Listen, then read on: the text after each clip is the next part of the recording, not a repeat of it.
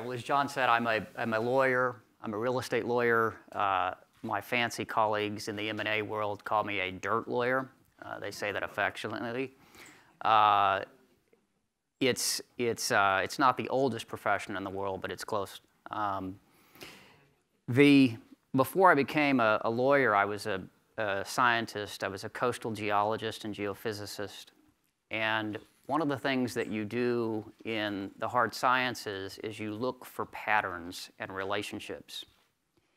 And so as a coastal geologist, one of the things that we would do is we would look for relationships and patterns between the modern marine environment, uh, which is what I was studying, and the ancient billion-year-old uh, rock formations.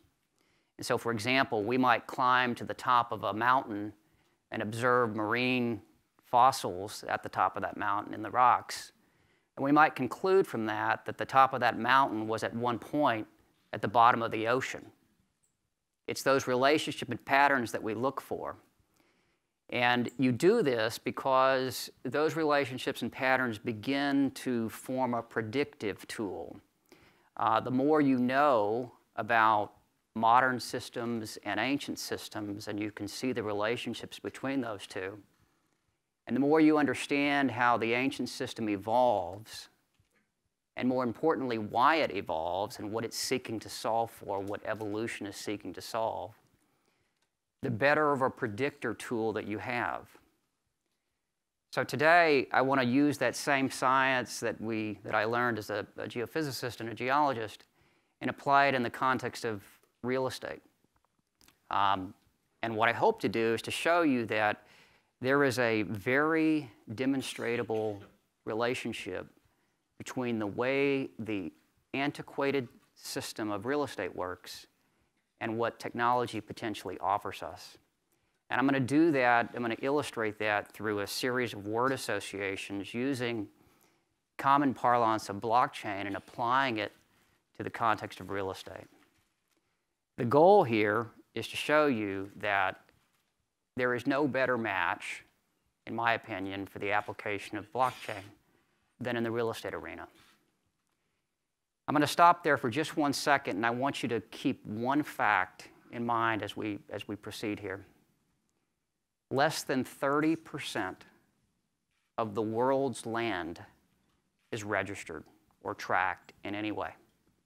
What this means is the farmer, the rice farmer in, a, in the Philippines or in a, another undeveloped country has no way of extracting the capital and the value of the land that that that farmer owns. There's no ready-made legal or financial system because there's no tracking. There's no registry for that land. That means that more than 70% of the world's population is not able to tap into that value. What we want to do is we believe that we can do better. Uh, and we believe that blockchain potentially offers us an opportunity not only to uh, enrich ourselves, uh, but also to improve society in doing so. So let me take you backwards into the antiquated world of real estate. In blockchain parlance, this is the genesis block.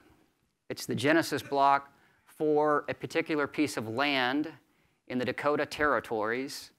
Uh, and this land was deeded by the federal government to a one Charles Ingalls. Charles Ingalls is the father of Laura Ingalls Wilder, the writer, the author of Little House on the Prairie. This is the Genesis block for the prairie, circa 1886. Subsequent conveyances of this land would be done by deed, a physical instrument that then gets recorded in the county in which the property is located. That recordation, over time, begins to look like this. This, in blockchain parlance, is a ledger, is a centralized ledger. We call it, in the real estate world, the grantor grantee index. Wonderful term. Uh, you notice all of the metadata here. Uh, so we have the name of the, the grantee, the buyer, the name of the seller. We have the type of the property that's being conveyed. We have the date of the deed and the purchase price and the like.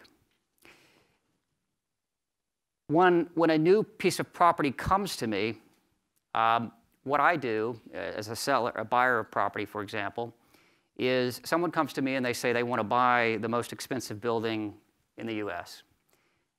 One of the very first tasks that we do is we make sure that the seller who is selling it to us, that they own it. And we do this through what's called a chain of title. The similarity of that name is striking to what we're talking about today. We go backwards in time and we look at all of the predecessor records.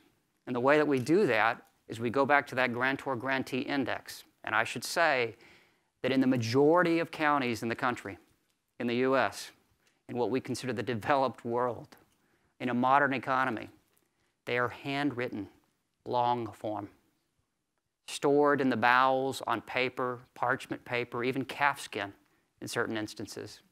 So when you want to do a chain of title like this on a historic building in Manhattan, you will literally go into microfiche and hard copies and dusty boxes and the like. Clearly not an efficient system. When we do this backward look all the way through, we're trying to, one, prove that the person who's selling it to us owns it. And that's equivalent to, in blockchain, the double spend problem. We're trying to make sure that this piece of property hasn't been spent twice. We're also looking for the accuracy of the legal description. The legal description here is represented by these terms 1 West 28, 2 East 56. Occasionally, you notice the change, 2 East 56 all of a sudden gets changed to 2 East 57. Occasionally, we discover an error or something other than an error, but something that doesn't match up in the chain. This, in blockchain parlance, again, is called a fork. The similarity to the chain of title in real estate, again, is striking. These forks are sometimes errors, sometimes they're more nefarious. The word that we use as lawyers for fraud is opportunism. That's when we're representing the fraudster. uh, the error arises when you introduce humans, and fraud uh, arises when you introduce humans to the equation. The real estate world, as was Sandy mentioned earlier, uh, is highly people dependent. It causes me to pause and say, I think that we can do better. Surely, with the advent of technology, blockchain, or other solutions that might come, we can take a repeatable exercise, such as looking backwards in time with respect to that building, and put a layer of mathematical certainty on it. Surely, in today's economy, we shouldn't be writing things out on parchment paper or entering them in long form ledgers in county offices. So you know what's coming blockchain. I mentioned relationships and patterns earlier, that that's what we look for. And we do that as a predictive tool. The similarity between this image and the grantor grantee index, to me, is striking. They're one and the same. Maybe the color has changed, but essentially, this is the grantor grantee index, and the grantor grantee index is blockchain. I also mentioned evolution. Evolution is solving for particular problems. This is the natural evolution of real estate. It would not allow us to make a mistake. It would not allow fraud to be committed. Instead, we would stop when the 56 changes to the 57. What are the other implications, many of which you know about? Well, we remove humans from the equation, so-called disintermediation. Companies, title companies suddenly evaporate. You no longer have to send someone to Virginia to fix a, an error that's been written, as Sandy mentioned earlier. Escrow companies disappear, they evaporate. Similarly, we automate the process. Uh, it is entirely conceivable that when a company searches for a new headquarters, such as Amazon recently did, and they find it and they ultimately uh, control it, it's entirely conceivable that that process from start to finish, the prompting of the need for the search to the end, the acquisition, is completely automated. No humans. We create data and analytics in this new world, a whole wealth of knowledge. Currently, that knowledge is locked up in dusty boxes in, some, in the bowels of some county. Imagine if we could create a digital fingerprint for every single possessory interest that exists around an office building the actual land, the physical structure, the leases within it, the air rights above it, the water rights beneath it. All of that are layers and layers of blockchain. This is the least tangible and most difficult concept to convey. As a lawyer, I spend an inordinate amount of time negotiating and allocating risks and responsibilities and remedies and the like. And what I'm convinced of is, is that as we tap into this abundance of data and make the entire process more transparent from start to finish, I'll no longer be guessing what my adversary, my counterparty, will ultimately agree to. It will be self evident. The data will speak for itself. There will be what I refer to as a migration to the mean. And I think that that will be a higher bar and not a race to the bottom. We'll be able to base our decisions on data and not instinct. So let's look at the opportunity in closing. I operate in this little teeny tiny sliver down here on this graph. If we view coin offerings as a proxy for the implementation of blockchain, there's a huge opportunity in this tiny sliver.